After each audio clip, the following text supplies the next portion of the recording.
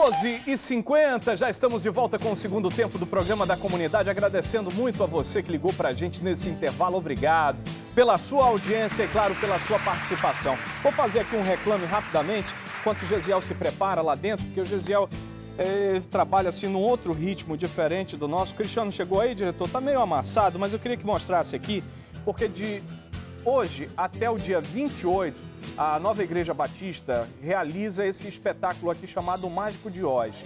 E você é nosso convidado especial, porque o programa da comunidade está lhe convidando em nome de toda a equipe competente da igreja, da Nova Igreja Batista, que fica ali na Avenida Torquato Tapajós, Torquato Tapajós, para participar desse grande espetáculo que envolve teatro, dança, orquestra e uma série de outras atrações musicais na Nova Igreja Batista. Alô, pessoal da Nova Igreja Batista, obrigado também pela audiência. Tá feito aqui o reclame. A partir de hoje até o dia 28, de graça, viu? O interessante é que a entrada é de graça e você participa desse espetáculo. Você acompanha tudo lá na Avenida Torquato Tapajós. Vou deixar aqui o telefone de contato, diretor. Tá aqui em letras pequenas, 3236-6218 e 9215-0597. 1251, Márcia Lasmar. É a Márcia não, né? É o Geraldo Campelo. Alô, Geraldão. Tem uma dica do Amazonas da Sorte para você que está em casa. 1251. E aí, Amaral, obrigado. No próximo domingo, Amazonas da Sorte tem muito dinheiro para você. 100 mil reais, gente. 100 mil reais só no quarto prêmio. Confere aí a campanha. Aqui tem a grana seus sonhos e também a mudança de vida. Então pega a cela e faz torcida. 100 mil, 100 mil, 100 mil reais. 100 mil, 100 mil, 100 mil reais. 100 mil reais são no quarto prêmio do Amazonas da Sorte. Comprando, você cede o direito de resgate à Casa Vida em ações sociais. 100 mil, 100 mil, 100 mil reais. 100 mil reais só no quarto prêmio. Amazonas da Sorte. Sua felicidade é aqui. Show a nossa campanha! Mude de vida realizando seus sonhos. E com apenas 5 reais, você pode ganhar 100 mil reais só no quarto prêmio. Escuta aí a torcida. Solta aí, Ricardinho.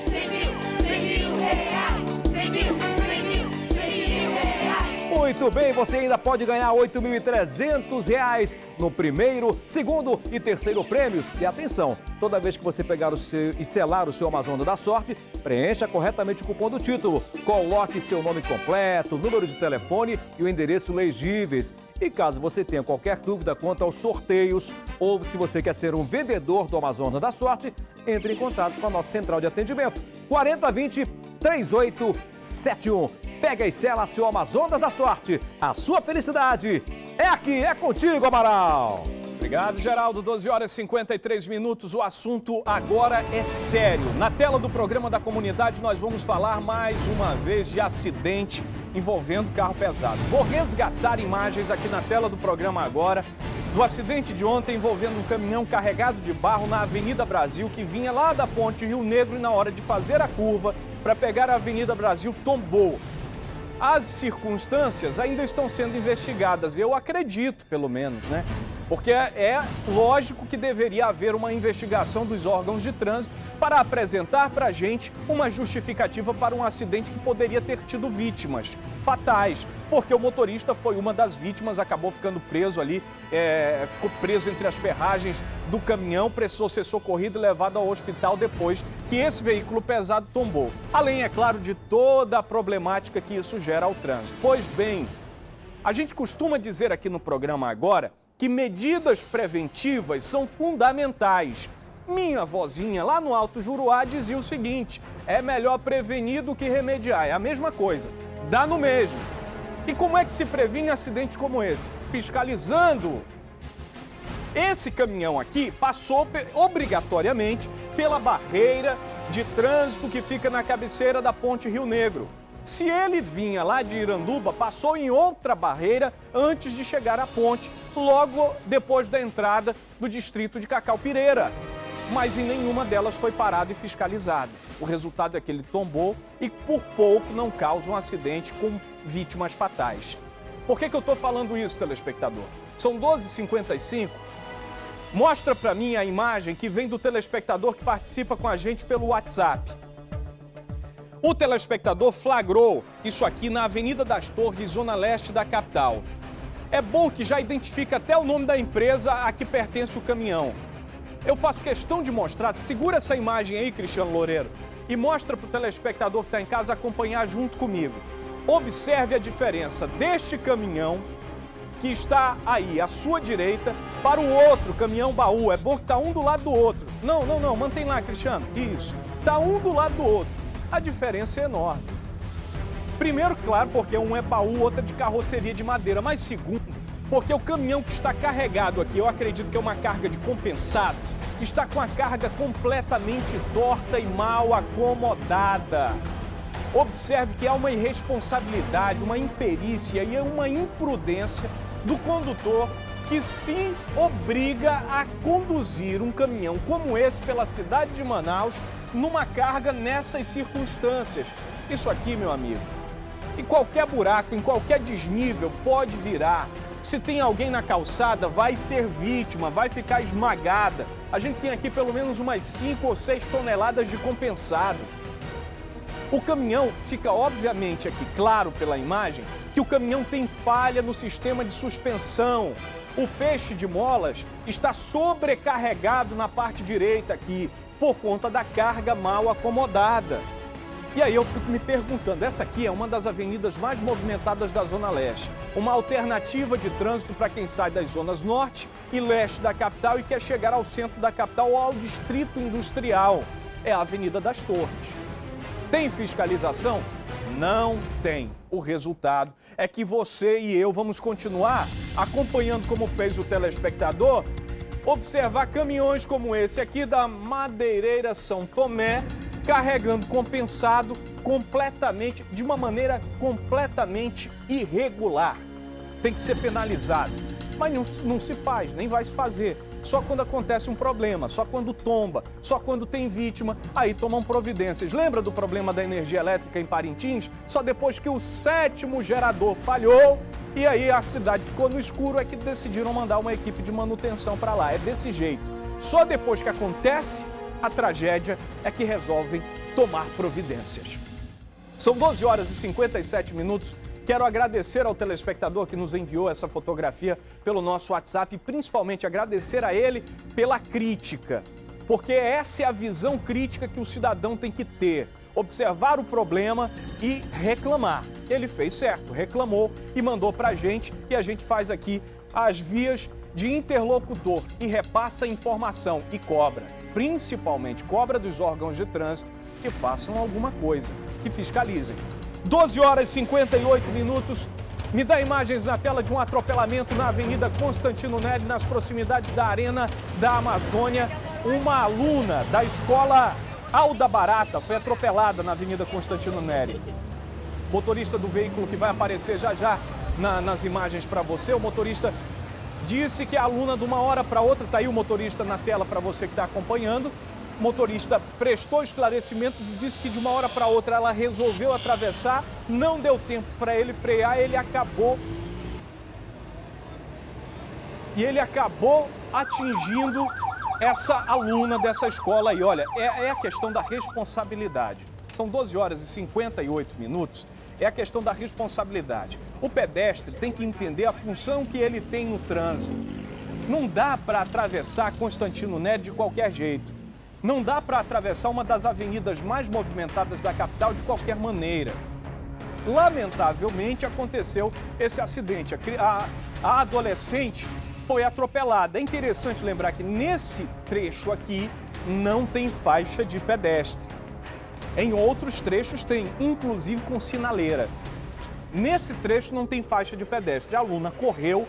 Eu, eu, eu lembrei agora há pouco aqui de um caso muito parecido em que também uma aluna acabou sendo atropelada ali em frente à Sametro, a Fametro, enquanto atravessava a Constantino Neri, e aí ela tentou pular de uma vez para uma das paradas ali de ônibus, não conseguiu, voltou e foi atropelada por um caminhão. É muito parecido o que aconteceu. Olha, a gente observa aqui ela sofrendo ali com dores, foi atropelada, o motorista não conseguiu frear, mas está aí o resultado. Nossa equipe acabou trazendo para a gente aqui essas informações. Atravessava fora da faixa de pedestre. Não tem nem nesse horário como o motorista passar dos 60 km por hora, né? Ainda bem. Ainda bem que estava em uma velocidade reduzida e o resultado, lamentavelmente, é um atropelamento registrado na Constantino Nera. Ela foi resgatada pela equipe do SAMU, levada ao hospital 28 de agosto, onde recebe atendimento médico de emergência. Que vem pela frente aí, diretor? Uma hora em ponto. Uma boa tarde para você que nos acompanha. Obrigado pela sua audiência. Vem aí Márcia Lasmar trazendo uma dica especial para você de casa. Quer emagrecer de maneira rápida? Veja como é fácil. Eu tenho um grande problema. Eu engordo e emagreço muito fácil. E aí eu até consigo perder peso fazendo as dietas, mas o problema é manter esse peso, né? Aí eu comecei a tomar o Lipomax e eu consegui o que eu queria, porque além de perder todo o peso, que eram 12 quilos a minha meta, eu agora consigo manter isso, que pra mim é o mais importante. Bom, o Lipomax eu adoro. Viu só? Entre em forma tomando o Lipomax Plus associado ao Lipomax Shake. O Lipomax Plus age no controle e na redução do apetite, na eliminação da gordura abdominal e na queima das calorias, ajudando na redução do peso, além de melhorar o funcionamento do intestino. Tomando o Lipomax Plus associado ao Lipomax Shake, você emagrece 5 quilos ou mais em pouco tempo. À venda em todas as farmácias e a preços promocionais nas redes de farmácias Angélica e Farmabem. A linha Lipomax tem a garantia de qualidade de Vicom Farma. Amaral. Uma hora, um minuto, está na hora da denúncia da comunidade na tela do programa. Agora nós vamos mostrar para você a denúncia de moradores lá do João Paulo, na zona leste da capital, que estão cansados de conviver com problemas de infraestrutura. Nós já mostramos essa situação lá, a prefeitura chegou a fazer alguma coisa, mas não terminou os serviços. O resultado é que todo mundo fica cobrando que as coisas sejam concluídas. E a gente aqui, principalmente, uma hora, dois minutos na tela do agora, a denúncia da comunidade vem da Zona Leste do João Paulo. Solta aí, diretor. Há quatro meses estivemos aqui e as condições encontradas foram estas: ruas esburacadas, tubulações quebradas, bueiros sem tampas. O recapeamento chegou e esperavam soluções, que em parte foram resolvidas. Mas a continuidade para a finalização do serviço foi bem diferente. É o que conta a dona Ângela, moradora da Rua Boldo, aqui no João Paulo II. Quando eles vieram fazer, né, que deixaram quebrado a, a, o meio-fio, né? A minha denúncia é essa e também os entulhos que eles deixaram na frente da casa da minha vizinha. Isso prejudica a senhora de qual forma? Quando chove, que alaga tudo aqui, e quando eles começam a lavar carro ali na frente, né? Que empoça de água aqui também. Aí vai descendo para casa dos meus vizinhos, lá para baixo, ou empoça tudo aqui nessa esquina. Este morador teve que improvisar para poder entrar em casa. Eu não usava isso, ó. Para entrar esse carro, tem que usar esse compensado. Ó, meteram a máquina aqui, acabaram com a minha calçada. Tudo isso fizeram. No exato momento da entrevista com o senhor Humberto, dona Raimunda, uma das moradoras da casa ao lado, caiu. Ela usa muletas e o entulho que ficou acumulado em frente à sua casa prejudica a passagem da aposentada de mais de 70 anos de idade. Demais. E eu, meu, o terreiro, meu quintal era limpinho. Deu passar a vassoura, coisa agora é o mesmo que ser um lixeiro. Um funcionário da Manaus Ambiental tentou explicar. Até então, a maioria dos casos aqui é o pessoal que não, não fecha suas torneiras e a casa ocasiona nisso aí. Se eu olhar aí dentro, Aham. tá vazando aí a cisterna dela e tá, tá jogando água aqui fora. Ah, é A da pessoa- própria cisterna, né? Isso, a pessoa até reclama que a água dá 200 800 reais porque fica aberto lá o dia inteiro derramando aí a cisterna. Mais de 50 famílias moram aqui no final da Boldo. A situação piora. Dos problemas apresentados com a falta de continuação do recapeamento, nós verificamos aí a quantidade de água que é despejada, jogada fora. Manaus Ambiental que não concluiu o trabalho e a gente veio até aqui. A dona Maria que eu tô vendo aí que tá dando duro danado, né, dona Maria? Todo dia isso, não? Todo dia é isso, todo dia. Água derramando, eles colocaram o asfalto assim de qualquer jeito, né? Ajeitaram, não ajeitaram as tubulações todas, a tubulação vaza muita água. Enquanto a conclusão das obras não aparecem, fica a pergunta: serão necessários mais quatro meses de espera ou não? Boa pergunta. Uma hora e cinco minutos, os moradores querem a conclusão das obras e já faz 15 dias que a nossa equipe esteve lá e até agora nada mudou. vou ficar aqui me perguntando, será realmente que eles levaram a sério a questão dos quatro meses? Tem que levar a sério a denúncia da comunidade e o compromisso com a melhoria da qualidade de vida de quem mora nessas áreas. Nós estamos falando de um bairro da Zona Leste da capital, um dos mais populosos, que precisa de um impacto positivo na infraestrutura. Ali ao lado está o Jorge Teixeira, que recebe o ProUrbis, que é um programa de reurbanização e reorganização do espaço, das moradias, das praças, das ruas, da iluminação pública, que é exemplo. Se já tem um exemplo positivo, por que, que não repete? Falta dinheiro? Acredito que não. Falta mesmo é vontade. E aí é que vem a vez da Secretaria de Infraestrutura. Aí é que vem a vez da Arsan também. Cobrar da concessionária que conclua esses serviços. Vai colocar tubulação? Vai rasgar o asfalto que já demora para chegar? Tem que deixar como encontrou.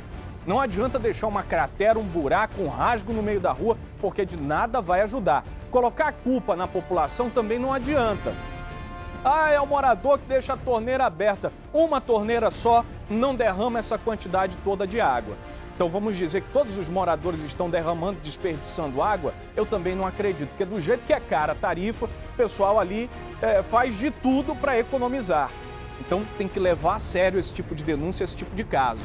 Aquela imagem agora há pouco que nós mostramos aqui, volta aí, Cristiano, mostra uma senhora idosa com limitações físicas que não consegue andar na frente da própria casa. Não tem calçada, está tomado pelo mato, ela já não tem força de trabalho para limpar, ou seja, é mais uma das vítimas de falhas na prestação de serviços básicos de infraestrutura.